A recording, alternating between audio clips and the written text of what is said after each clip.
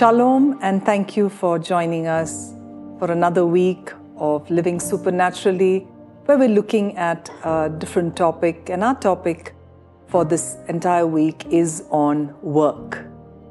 Through the series, we are going to look at what the Bible says about work.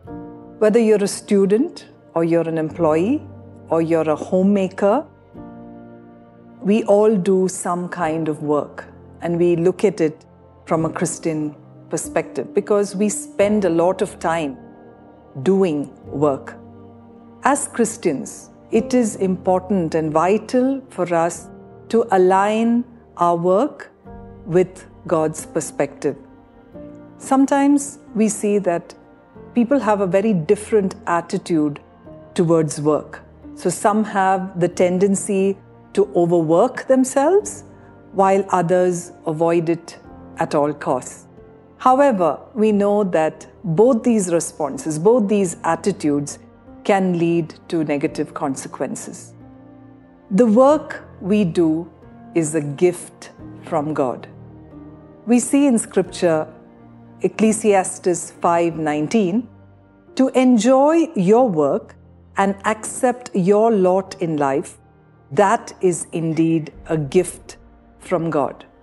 We see that work is a gift from God. It's not a punishment.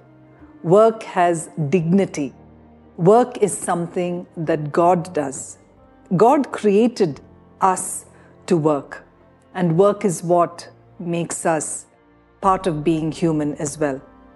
We see that the origin of work depicted was depicted in the book of Genesis. Legitimate work reflects the activity of God. We see that in the beginning of the Genesis account. In fact, God was the first to do work.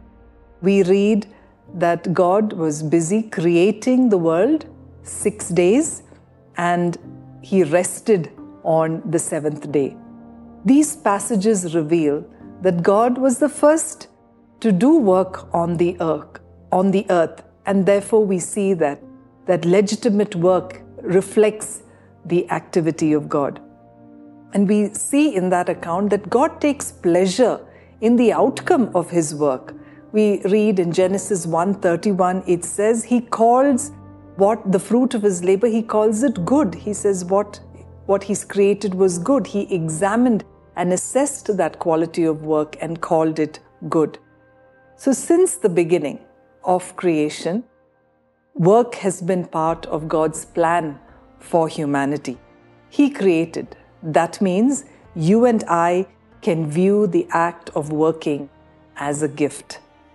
By this example, it is apparent that work should be productive, that we need to work in such a way that it produces the best or the highest quality outcome and the reward of our work is the honor and satisfaction that comes from a job that is well done.